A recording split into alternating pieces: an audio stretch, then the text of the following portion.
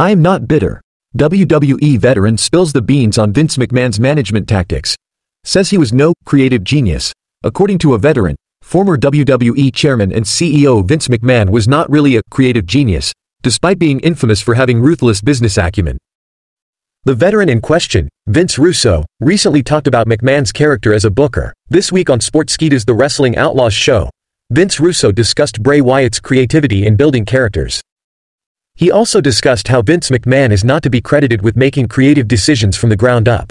Russo further said that although McMahon could not think of new ideas himself, he excelled at enhancing others' talents if he chose to.